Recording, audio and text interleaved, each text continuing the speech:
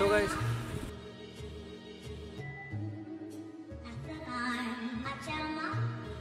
तो गाइस पिछले वीडियो में हम लोग ने देखा था एनएल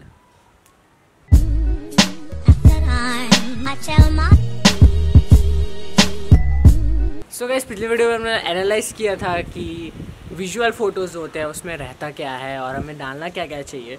तो इस वीडियो में थोड़ा एडवांस चीज़ों को देखेंगे और जो भी लोग, जो भी अब इस फ़ील्ड में अच्छे हैं प्रो है, उनकी फ़ोटोज़ से कुछ सीखेंगे। वो क्या करते हैं, वो सब चीज़ हम अपनी फ़ोटो में करेंगे। यार धूप बहुत तेज़ है और अंदर बैठ के पर वीडियो बनाने का मन नहीं कर रहा है। तो स्टार्ट करते हैं वीडियो को और जो भी इम्पोर्टेंट चीज़ होगा मैं आपको बताते जाऊँगा और करके भी दिखाते जाऊँगा। सो so गाइस पहला बंदा है जिससे विजुअल एडिटिंग में बहुत कुछ सीखा जा सकता है, वो है कैलम ये सारी उनकी फ़ोटोज़ है। आप उनका फ़ीड भी देख चेक कर सकते हो इंस्टाग्राम में। आप उससे सीख क्या सकते हैं, इसके ऊपर बात करेंगे। तो उनके फ़ोटोज़ में आप यूजुअली देखोगे ग्लो वाले ऑब्जेक्ट्स बहुत होते हैं। पहले तो वो बहुत ग्लो करते थे, अब वो कुछ नए नए कॉन्सेप्ट्स भी ला रहे हैं। जैसे कि बिल्डिंग में फ़ायर वर्क करते हैं और फायर पी का बहुत यूज़ करते हैं। फायर मटेरियल्स लगाते हैं हाथ वाथ में फायर हो गया, हाथ को फ्रीज़ करना हो गया। एंड वो मार्वल्स वाले कॉन्सेप्ट भी बहुत ज़्यादा करते हैं तो आप उनसे बहुत कुछ सीख सकते हैं। तो first thing is glowing objects अगर आपको नहीं आता तो आप एक वीडियो देख सकते हो मेरा पहले, वरना मैं शॉर्ट में भी बता दूँगा। तो पहला चीज़ तो हो गया glowing objects second most important thing उनकी कोई भी फ़ोटो बहुत डार्क में शूट हुई होती है, क्योंकि वो डार्क में इसलिए शूट करते हैं, क्योंकि बाद में उसको जब हम एडिट करते हैं, तब वो चीज़ सही हो जाती है। And guys second most important thing उनकी फ़ोटो में आपको देखने को मिल जाएगा। कि कलर्स जो रहते हैं वो सिर्फ़ यूजुअली वो दो तीन कलर्स का यूज़ करते हैं। आ, अगर स्काई या सन दिखाना हो तो वो गोल्डन पे ही जाते हैं और कोई कलर पे नहीं जाते और ब्लू ब्लूनेस को बहुत ज़्यादा रखते हैं अपने शेडोज़ में। तो ग्लो ऑब्जेक्ट्स और कलर्स हो गया एंड फेस रिटचिंग में बहुत अच्छा वो शाइन सेट करते हैं अपनी फ़ोटो में। एंड वो सब भी अगर आपको ऐड करना है तो आपको एम टी लेयर्स पर बहुत अच्छे से वर्क करना पड़ेगा। एक बार कैलोप ने भी बताया था अपनी स्टोरी पे ही कि वो यूजुअली वर्क करते हैं एम टी लेयर्स और सॉफ्ट ब्रश के साथ। तो सीक्रेट्स यही होते हैं। हम विजुअल वाले मोस्टली चीज़ें सीख सकते हैं। बट बात ऐसी है कि यार वो अपने फ़ोटोज़ पे ना बैकग्राउंड चेंज ज़्यादा नहीं करता। वो अपने फ़ोटो में बैकग्राउंड रियल रखता है, वो शूट्स अपने रियल करता है। तो हमें वो सब चीज़ देखने को नहीं मिलेगा कि बैकग्राउंड चेंज हो रहा है कटिंग हो रही है चीज़ों की। वो नहीं करता ये सब चीज़।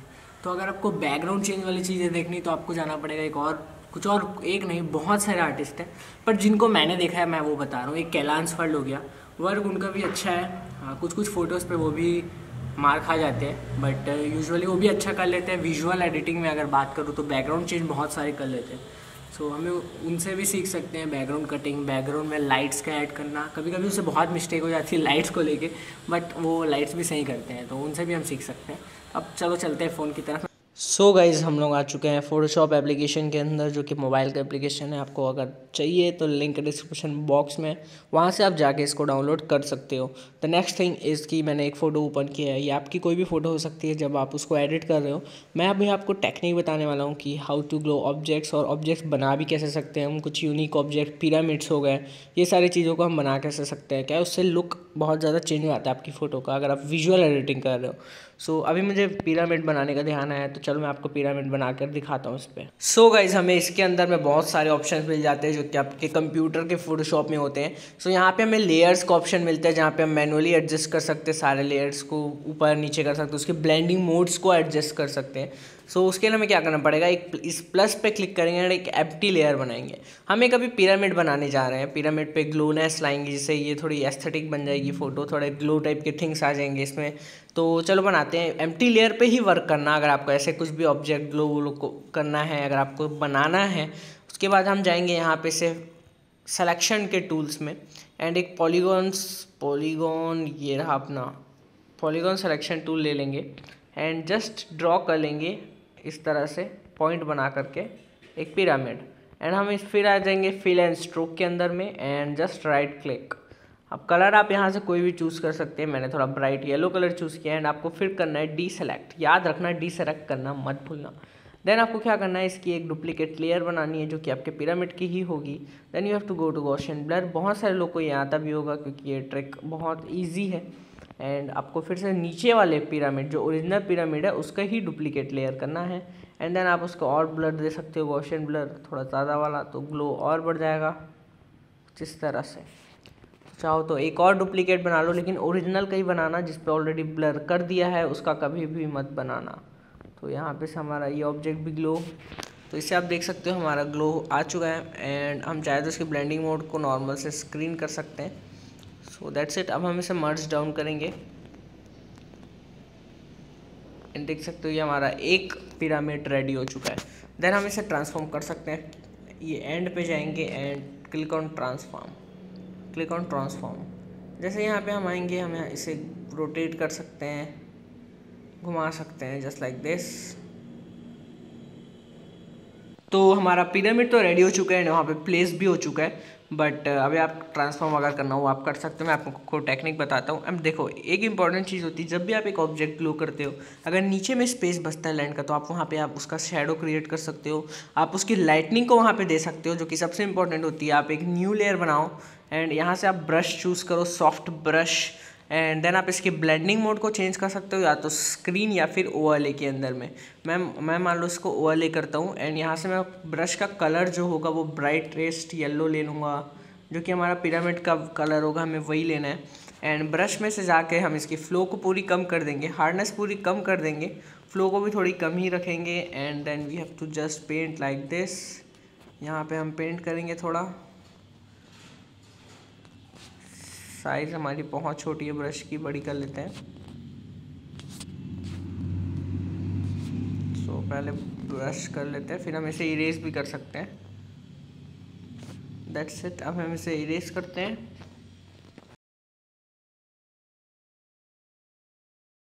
देन हम एक और चीज़ कर सकते हैं इसको रियलिस्टिक बनाने के लिए। हम इस पर दे सकते हैं थोड़ा सा Gaussian blur just like this तो आप देख सकते हो, ऐसा लग रहा है कि वो पिरामिड उसके ऊपर है दैट्स वाई उसकी शाइनिंग्स जो है, वो आपके स्काई सॉरी वाटर पे आ रही है।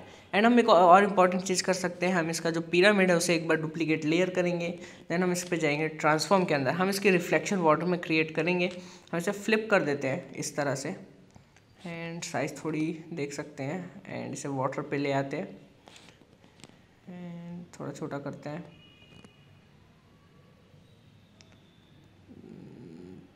बिल्कुल ही उसके नीचे रखने की कोशिश करना।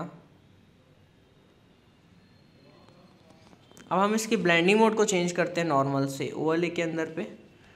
तो देख सकते हो हमारा उसका रिफ्लेक्शन आ चुका है। इसे भी हम थोड़ा सा ब्लर देंगे बिकॉज़ वाटर में आएगा। तो ऑफ़ कोर्स उसके अंदर ब्लर आएगा। हम एफ़ के अंदर आएँगे एंड गोशन ब्लर इसे ज़्यादा ब्लर नहीं देंगे बट इतना चल जाएगा। दैट्स इट एंड यहाँ पे से हम तो इसे थोड़ा सा फेड लुक देंगे। फेड लुक कैसे देते हैं? आपको आना पड़ेगा एंड पे।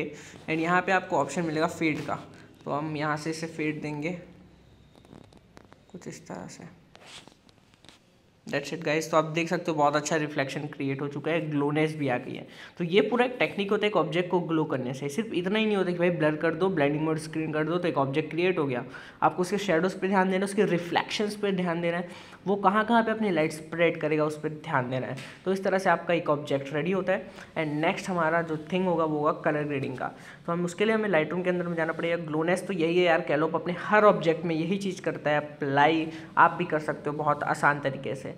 और नेक्स्ट हमारा कलर ग्रेडिंग हुआ, उसके लिए हम लाइट रूम यूज़ करेंगे बिकॉज़ इसमें भी ऑप्शन उतने सारे नहीं दिए हुए हैं जो कि आपके लाइट रूम में बहुत ईजिली हो सकते हैं। So let's go into the Lightroom start करते हैं हमारी फ़ोटो लाइट रूम के अंदर में। एंड यहाँ पे आप देख सकते हो, मैं इसे थोड़ा बहुत क्रॉप कर रहा हूँ। थोड़ा हमारा ट्रायंगल जो है, वो टेढ़ा हो गया है। वहाँ पे मैं, मैंने ट्रांसफॉर्म पे ज़्यादा ध्यान नहीं दिया था, चलता है बट राइट क्लिक करते हैं। एंड यहाँ पे आप देख सकते हो, हमारी फ़ोटो क्रॉप हो चुकी है इंस्टाग्राम साइज़ के रेशियो पे। एंड यहाँ पे से हम अपनी एडिटिंग को स्टार्ट करते हैं। कैलोप की जो कलर ग्रेडिंग है, वो बेसिकली कंसिस्ट होगी, जैसे कि मैंने बताया था आपको ब्लू और येलो पे। सो हम भी उसी चीज़ को मेनटेन करेंगे अपनी फ़ोटो में। तो टेम्परेचर बहुत इंपॉर्टेंट थिंग है कलर ग्रेडिंग का। बहुत दिन बाद मैं कलर ग्रेडिंग के ऊपर बात कर रहा हूँ अपने यूट्यूब चैनल पर तो यार प्लीज़ ध्यान से देखना, बहुत सारी नई चीज़ हो सकता है आपको सीखने को मिले। क्योंकि मैंने भी अभी अभी ये सब चीज़ें अप्लाई करना स्टार्ट किया अपनी फ़ोटोज़ में and I am getting some boom results तो द फ़र्स्ट थिंग इज़ मैं पहले टेम्परेचर और टेंट का बिल्कुल भी यूज़ नहीं करता था अपनी फ़ोटो में, जिसके कारण मेरी फ़ोटो में नेचुरल जो कलर्स होते हैं वो नहीं दिखते थे। भले मैं उसमें कितनी भी कलर ग्रेडिंग करूँ, पर उसमें नेचुरलनेस नहीं दिखता था। तो अगर आपको अपने स्टाइल में कुछ इंप्रूवमेंट लाना है तो आपको टेम्परेचर एंड टेंट को सीखना पड़ेगा। सो so, हम यहाँ पे टेम्परेचर टेंट पे जाते हैं एंड हमें चाहिए शेडोज़ में जो है ना हमें शेडोज़ में चाहिए बिल्कुल ब्लूनेस तो हम यहाँ से टेम्परेचर को थोड़ी कम कर देते हैं जस्ट लाइक दिस एंड यहाँ पे से टिंट को कर देते हैं थोड़ा सा माइनस पे। तो हमें दोनों ही वैल्यू को माइनस पे किया है। तो अब देख सकते हो ब्लूनेस बहुत ज़्यादा आ चुकी है फ़ोटो में। बट ये हम बाद में कंट्रोल कर लेंगे। इसका जो येलोनेस है उसको बाद में कंट्रोल कर लेंगे। देन हम यहाँ पे से आते हैं इसके हाईलाइट्स पे। तो हम हाईलाइट्स को थोड़ा सा बढ़ाएँगे। इससे जो है, जो ग्लो है, वो थोड़ा और बढ़ जाएगा। एकदम भी नहीं, हमारे पीछे की डिटेल्स स्काई के डिटेल्स लॉस नहीं होने चाहिए। सो हम हाईलाइट्स को उतना ही बढ़ाएँगे। शेडोज़ को थोड़ी डाउन ही रखेंगे बिकॉज़ डार्क फ़ोटो बहुत अच्छी लगेगी। अगर कोई ऑब्जेक्ट ग्लो कर रहा है, अगर वो ऑब्जेक्ट ग्लो नहीं करता, तब हम चाहते तो शेडो को बढ़ा सकते थे बट अभी हमने कम किया हुआ है। देन यहाँ से हम इसके वाइट्स को थोड़ी कम रखेंगे। एंड ब्लैक्स को थोड़ी डाउन कर लेंगे दैट्स इट सो कैलोप की भी जो कलर ग्रेडिंग होती है, वो डार्क होती है बट ऑब्जेक्ट्स ग्लो होते हैं, जिसके कारण वो फ़ोटो रखती है थोड़ी bright than next thing is we will go to H S L H S L में हम आएँगे, इसके जो रेड्स है, उसको थोड़ा सा बूम करेंगे एंड लाइट्स बढ़ा देंगे। इसे हम थोड़ा शिफ्ट करेंगे येलो की तरफ़। एज यू कैन सी मैंने ह्यू को बढ़ा दिया सेचुरेशन को बढ़ा दिया ल्यूमिनेंस को भी बढ़ा दिया। तो अब वो एक येलो कलर का लुक आ गया पीछे, देख सकते हो ये है बिफोर ये है आफ्टर एंड यहाँ से हम इसके येलोज़ पे जाएँगे। एंड येलो ज़्यादा कंसिस्ट नहीं कर रहा है कलर को ब्लूनेस पे जाएँगे। इसे हम थोड़ा सा देंगे एक्वा टाइप का कलर को। सो so, हमने मैजेंटा में भी वही चीज़ को अप्लाई किया। तो देख सकते हो आप कलर ग्रेडिंग को जब आप मैच करोगे कैलोक की तो वो भी ऐसे ही होती है। But the most important thing is वो अपनी फ़ोटो में नेचुरलनेस के लिए कर्व का बहुत यूज़ करता है। कर्व का मतलब ये होता है कि आपकी जो डार्कनेस में मतलब कैलोप जो यूज़ करता है वो उसको फेडेड रखता है थोड़ी। ये आजकल मोस्टली हर कोई यूज़ करता है। अपने ब्लैक्स को फेडेड रखता है। इंडिया में नहीं करते बिकॉज़ इंडिया के लोग बेवकूफ़ है। आई एम टेलिंग यू मतलब कि ट्रूथ यही है कि इंडिया के लोग कुछ नया नहीं सीखना चाहते। यार इन लोग बस ना क्या बोलो ऑडियंस सबसे गंदी ऑडियंस इंडिया की है जो सोशल मीडिया कंटेंट कंज्यूम कर रही है। बहुत ही ज़्यादा गंदा। देन नेक्स्ट हम थिंग यहाँ पे बात करते हैं जो ब्लैक्स होता है तो वो क्या करता है थोड़ा सा ऊपर करता है फेवरेट लुक के लिए। एंड ये इस तरह के पॉइंट्स के साथ वो प्ले करता है। इससे क्या होता है हाईलाइट्स तो रहते हैं बट जो ब्लैक्स होते हैं, वो डीप ब्लैक्स ना होके फेडेड ब्लैक होते हैं बट वो डार्कनेस उसमें रहती है। तो आपको अगर ये नीचे के तीन पॉइंट बनाना सीख गए जो आप मेरे कवर में अभी देख सकते हैं तीन पॉइंट ये अगर आपने परफेक्टली अपने फ़ोटो के हिसाब से रख लिया it means your photo will look totally aesthetic and यहाँ पे हम तो विजुअल एडिटिंग कर रहे हैं तो यहाँ पे तो ये बहुत ही ज़्यादा अच्छे दिखते हैं पार्टिकल्स टाइप के लगते हैं फेडेड लुक तो ये हमारा इतना काम होता है, यहाँ पे से डन चाहो तो आप ब्लू कर्व को भी थोड़ा बहुत एडजस्ट कर सकते हो। ब्लू कलर में आप ये कर सकते हो, आप इसके शेडोज़ को कलर कर दे सकते हो ब्लू कलर दे सकते हो हाईलाइट्स को येलो दे सकते हो एज यू कैन सी तो बहुत अच्छा एस्थेटिक लुक आ जाता है आपकी फ़ोटो के अंदर में जस्ट लाइक दिस यहाँ से हम इसके वाइट्स को और बढ़ा लेते हैं। कुछ इस तरह से। So as you can see यहाँ पे हमारा काम इतना हो चुका है डन तो कलर ग्रेडिंग का भी काम बहुत आसान होता है विजुअल फ़ोटोज़ में। अगर आपको कैलअप जैसे करनी है तो। एंड यहाँ पे से आप स्प्लिट टोन के अंदर में हाईलाइट्स को थोड़ा रेड कलर दे देना। तो यहाँ पे आपकी फ़ोटो की कलर वो और बेहतर लगेगी। बहुत इजी है यार, आप अगर पोर्ट्रेट्स पे करोगे तो आपको स्किन रीटच सीखना पड़ेगा। स्किन रीटच के लिए मैं आपको यही चीज़ बोलूँगा, अगर आपके पास पीसी नहीं है, आपके पास फ़ोटोशॉप नहीं है पीसी वाला तो आप फ़ोन में भी आजकल बहुत सारे फ्रीक्वेंसी सेपरेशन के मेथड्स आ गए हैं। एक वीडियो तो मैंने भी बनाया उसके ऊपर। उस वीडियो को आप ज़रूर देखो तो आपको समझ आ जाएगा कैसे करना है, क्योंकि वो थोड़ा लॉन्ग मेथड है। बट सीख गए तो फिर वो जल्दी से हो जाता है। आई बटन में शायद उसका लिंक आ जाएगा तो आप वहाँ से उसको चेकआउट कर सकते हो। That's it guys so guys बाकी जो पीएनजी लगाना है, वो तो बहुत ज़्यादा आसान काम है। आपको स्टिकर यहाँ पे भी मिल जाएगा। बहुत सारे, अभी तो स्क्विड गेम्स के ही पूरे आ रहे स्टिकर नहीं पता क्यों। शायद वो बहुत ज़्यादा ट्रेंडिंग था, इसलिए ये गुड़िया ही है, आप इस पर भी, इसको भी लगा सकते हो, कहीं पर भी लगा सकते हो, बहुत ईजी है। कहीं पे भी प्लेस करो शेडोज़ क्रिएट करना होता है थोड़ा सा मुश्किल तो उसके लिए आपको या तो पहले से क्रिएट कर लो या फिर बाद में क्रिएट करो, बाद में क्रिएट करोगे तो थोड़ा दिक्कत जाता है, इसलिए आप पहले ही क्रिएट कर लो। तो उसके लिए भी आपको ड्रॉ पे ही जाके शेडो क्रिएट करना पड़ेगा ड्रॉ करके। जैसे आप शेडो पे जाएँगे ब्लैक कलर लेंगे, इसको भी सॉफ्ट और हार्ड के ऊपर आपको सेट करना पड़ेगा, जो भी चाहिए। एंड फिर आपको उसके नीचे नीचे पे पेंट करना पड़ेगा जस्ट लाइक दिस एंड ज़्यादा शेडो बनाने की कोशिश मत करना, एकदम आपसे रियलिस्टिक नहीं बनेगी. एंड शेडो उसी जगह पे बनाना जिस पे आपको भरोसा हो खुद पे. जिसमें आपको लगे कि यार हाँ मैं यहाँ पे बना सकता हूँ आसानी से एंड रियलिस्टिक भी लगेगा परस्पेक्टिव के हिसाब से.